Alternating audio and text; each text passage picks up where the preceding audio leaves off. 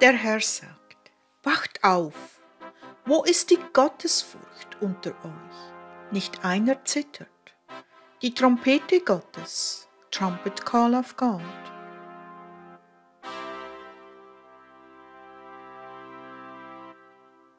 Achter Dezember 2009 von dem Herrn, unserem Gott und Erlöser.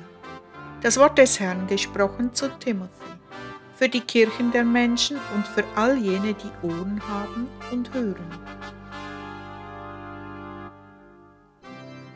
Das sagt der Herr, euer Gott, zu all jenen, die in den Kirchen der Menschen verweilen. Meine Kinder, hört auf mit euren bösen Wegen, kehrt um von all dieser Gotteslästerung, die ihr in meinem Namen aufrechterhalten habt, und bereut.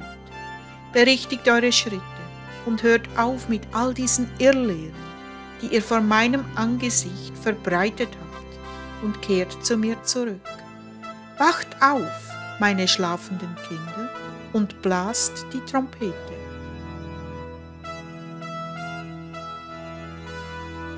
Seht, ich habe euch siebenmal zugerufen, dass ihr aufwachen sollt. Denn die Zeit ist wirklich gekommen und der Tag ist sehr nahe wo ich meine Herde einsammeln und meine Lämmer wegstehlen werde, wo ich von Haus zu Haus und von Tempel zu Tempel gehen werde, um zu sehen, ob ich dort wohne oder nicht. Denn viele sind gerufen, aber wenige sind erwählt. Denn nur jene, die für würdig befunden werden, zu entkommen, werden von diesem Ort gegangen sein.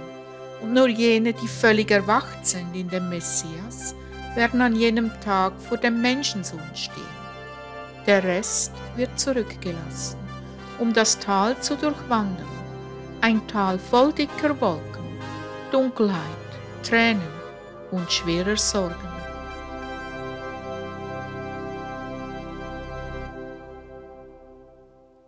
Geliebte, ich sehe schon jetzt die Tränen, die in bitterer Reue über eure Wangen fließen werden. Schon jetzt fühle ich die schweren Sorgen, die eure Herzen an jenem Tag zerreißen werden. Ich sehe euch vor Angst zittern, suchend und doch nicht findend, sehend und doch blind bleibend, hörend und doch lehnt ihr ab zu hören, essend und trinkend und doch niemals zufrieden, einsam und hoffnungslos. Geliebte, wie kommt es, dass ich viele unter euch finde, die sagen, sie kennen mich und meinen Willen und sich dann doch weigern, in meinen Wegen zu wandeln? Wurde meine Erlösung nicht bekannt gemacht? Sind meine Wege nicht offenbart und meine Gebote nicht deutlich geschrieben? Sind die Zeichen meines Kommens nicht klar zu sehen, sogar vor den Augen dieser bösen Generation? Und doch höre ich kein Rufen von den Dächern, nur Wind.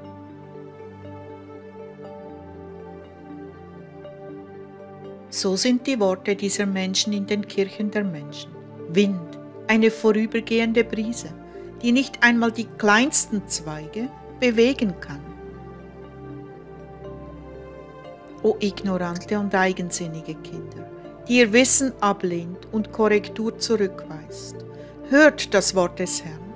Ihr wohnt in Königshäusern, und ich habe die Throne gesehen, auf denen ihr in eurem Stolz sitzt und wie ihr andere ohne Grund richtet. Wehe euch, wehe euch, sagt der Herr. Wehe allen selbsternannten Königen, die so hoch und erhaben auf ihrem Thron sitzen und wehe allen arroganten Prinzen und Männern in Autorität. Denn ihr werdet auf keinen Fall entkommen, wenn die Macht des Herrn vom Himmel aus offenbar wird. Wenn der Arm des Allmächtigen ausgestreckt wird gegen jeden Stamm, jede Sprache, jedes Volk und jede Nation. Wenn die Gegenwart des Gottes von Israel in den Herzen aller Menschen Angst auslöst.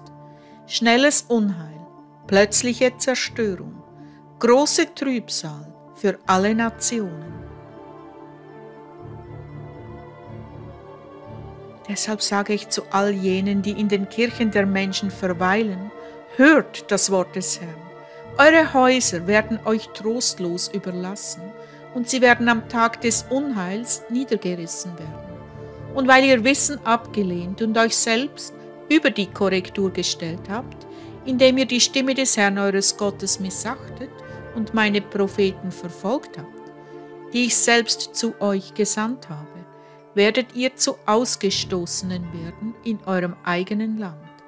Schaut, ihr werdet zu einem Landstreicher werden, der durch die Straßen wandert, ein Bettler in großer Not, der wehklagend aus dem Becher seiner eigenen Tränen trinkt. Der Klang davon wird durch die Straßen der Hartherzigen getragen und kaum beachtet werden. Niemand wird anhalten und eine helfende Hand anbieten.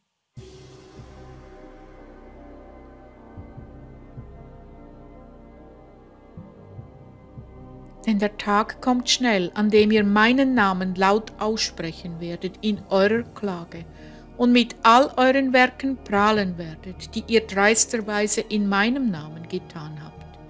Doch an jenem Tag werde ich mein Gesicht von euch abwenden und zu euch sagen, ich kannte euch nie. Denn ihr seid alles ungerechte Arbeiter, Menschen, die Gesetzlosigkeit akzeptieren im Namen der Gnade. Doch ich sage euch, ihr habt meinen Namen beschmutzt.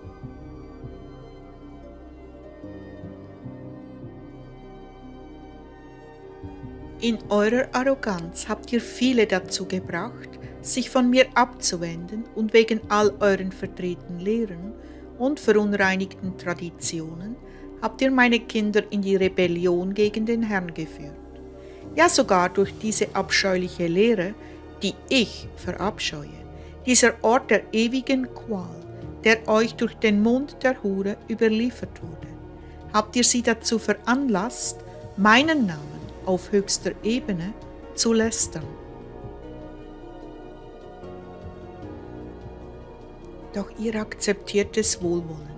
Seht, ihr genießt es und übereinstimmend mit eurer Bosheit und mit Herzen voller Urteile haltet ihr es aufrecht in eurem Zorn und in eurer stillen Empörung habt ihr heimlich Freude daran.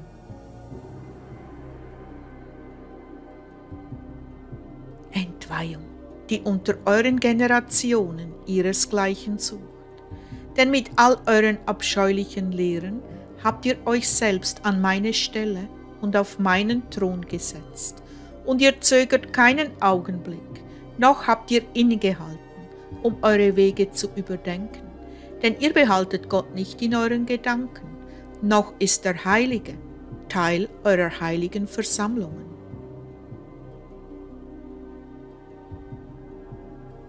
Denn ihr habt nicht aufgehört, jene unter euch dazu zu veranlassen, eine verunreinigte Anbetung darzubringen in meinem Namen, während ihr weiterhin den Schmutz der Heiden auf sie häuft.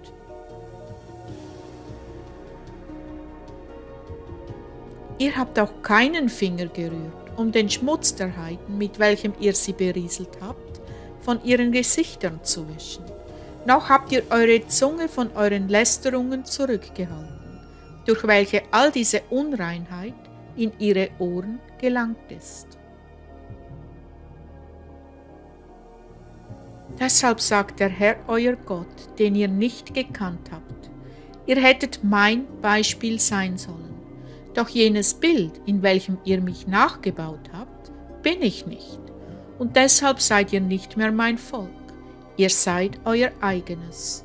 Ihr seid euch selbst überlassen. Ihr seid dem Schmutz all eurer Unzucht überlassen Ihr seid all den weltlichen Begierden überlassen, denen ihr ständig nachjagt, ihr diese Welt mehr geliebt habt als mich. Deshalb erkläre ich euch, dass eure Schuld bleibt und eure Sünden ungedeckt sind.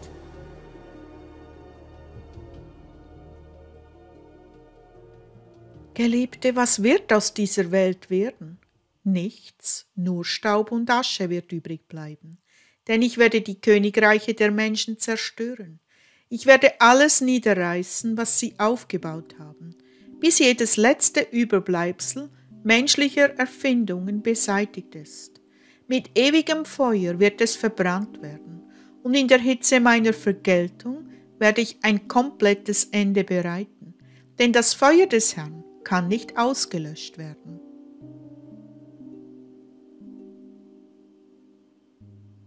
Und so werde ich die ganze Oberfläche der ganzen Erde reinigen. Ich werde nicht verschonen, sagt der Herr in seinem Zorn. Schaut, sogar die Wasser werden in den Flammen meines heißen Zorns verzehrt werden, und die Felsen werden in der glühenden Hitze schmelzen. Denn ich werde eure Städte völlig zerstören, ihr Söhne der Menschen, und all eure hohen Türme zum Einsturz bringen, und jede von Menschen erbaute Zufluchtsstätte auseinanderbrechen.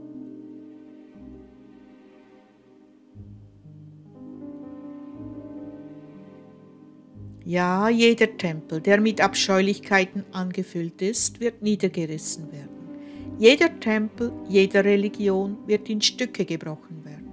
Schaut, nicht eine Kirche oder Synagoge wird stehen bleiben, obwohl Menschen sich bemüht haben, meinen Namen dort zu platzieren. Mein Name ist nicht dort, denn meine Gegenwart ist weit entfernt. Noch habe ich dort gewohnt, sagt der Herr, der Gott von Israel.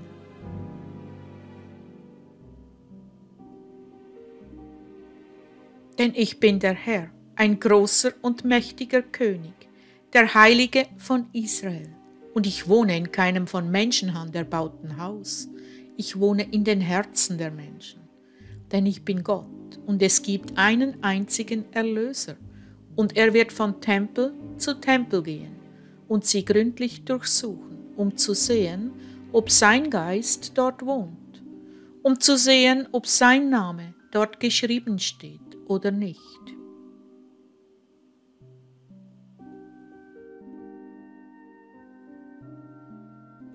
Schaut, er wird auf die Tafeln ihrer Herzen blicken und nach meinen Geboten suchen, die ich den Kindern Israels gegeben habe und deren Adoptierte ihr hättet werden sollen.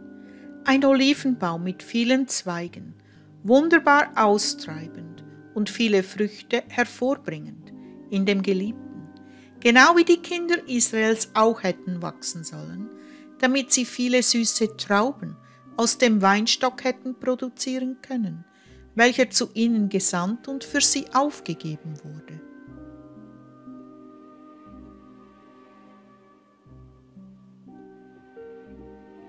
Doch was sehe ich? Große Bitterkeit, sauren Wein, ein entsetzliches Reiern aus dem Mund meiner eigenen Kinder.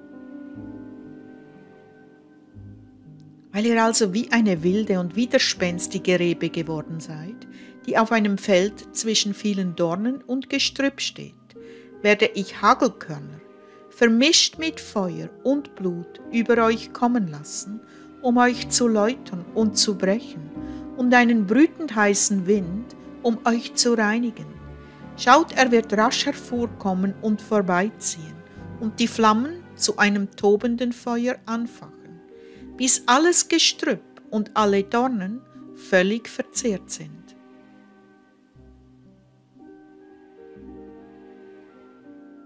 Und du, abscheuliche Rebe, wirst gereinigt und samt deinen Wurzeln herausgezogen und an deinen Ort gepflanzt werden.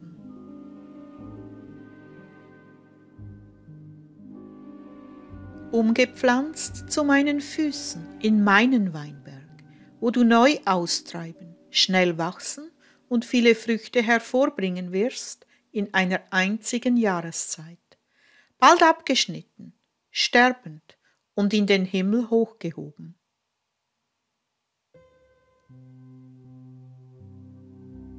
Denn ich bin der Herr, und meine Ernte wird zur rechten Zeit eingebracht werden zu der Zeit, die ich bestimmt habe, zum Ruhm meines Namens.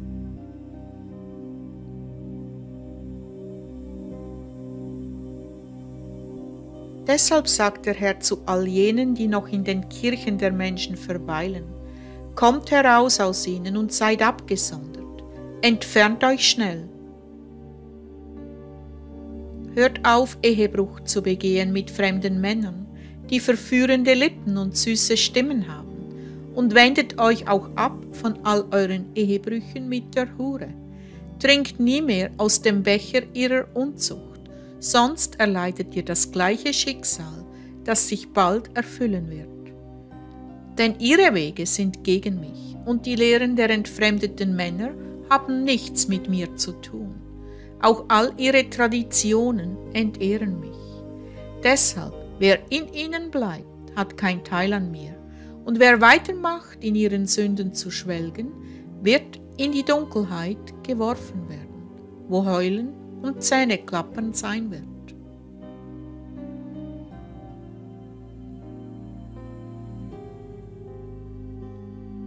Kirchen der Menschen, wo ist die Gottesfurcht unter euch?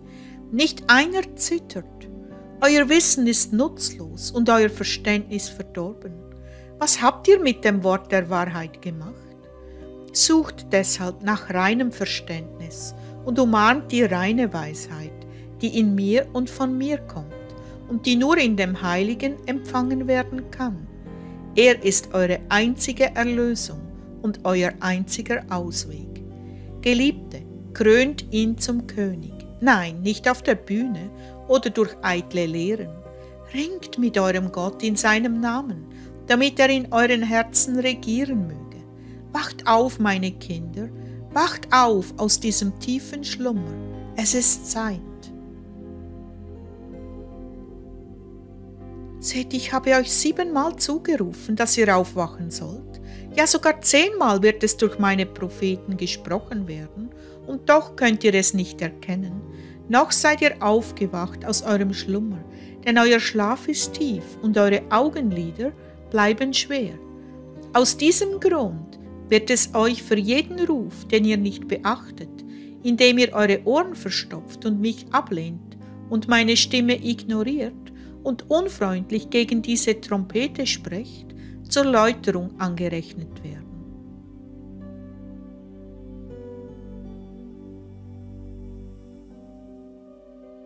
Ja, ihr werdet euer Leben behalten, obwohl es in der Welt von euch gefordert wird. Ihr werdet es sicher behalten. Ihr werdet entkommen, aber wie eines, das durch das Feuer entkommt. Dann werdet ihr wissen, dass ich der Herr bin, denn ich bin er, der die Demütigen erhöht und die Bescheidenen hochhebt. Er, der die Hochmütigen demütigt und die Stolzen erniedrigt. Der einzig wahre Gott.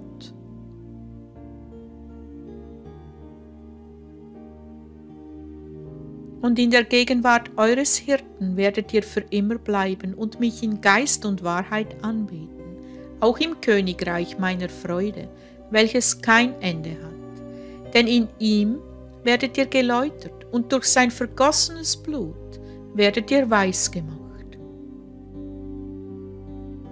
Denn in ihm wohnt die Fülle Gottes und durch ihn allein wird die Verheißung erfüllt, genauso wie ich es selbst gesprochen hatte und wie es geschrieben steht.